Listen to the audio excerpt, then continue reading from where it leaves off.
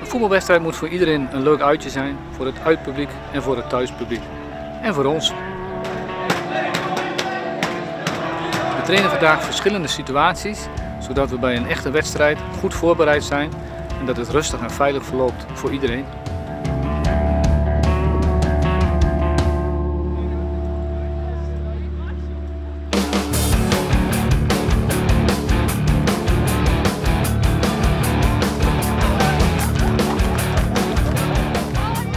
In het echt treedt de politie op met de ME bij voetbalwedstrijden. Eh, dan moeten ze samenwerken met politiepaarden en politiehonden. Om die samenwerking goed te laten verlopen wordt er vandaag getraind eh, in deze disciplines.